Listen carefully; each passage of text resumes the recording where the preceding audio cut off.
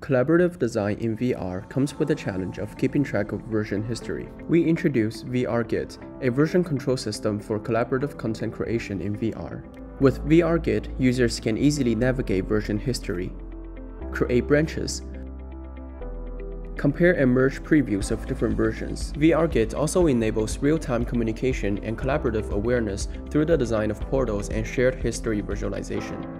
Simplify your VR collaborative design with VRGit.